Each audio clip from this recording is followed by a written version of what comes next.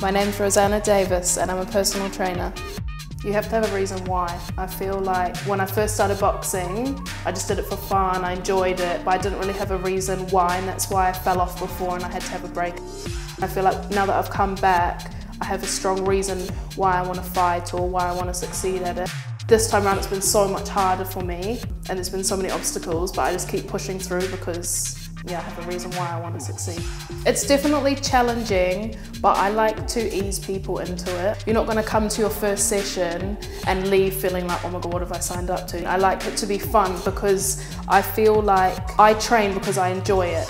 So everybody has different levels of challenge that they enjoy. After time, all of my clients always ask me, oh, can we do a little bit more? Can it be a little bit harder? So naturally you will build up the intensity yourself rather than me just smashing you every time. The days when you don't want to go to training or you don't want to go to the gym, those are the days when the sessions count the most. That's one thing that someone said to me. That always sticks in my head when I don't feel like going to training because those are the sessions that build character.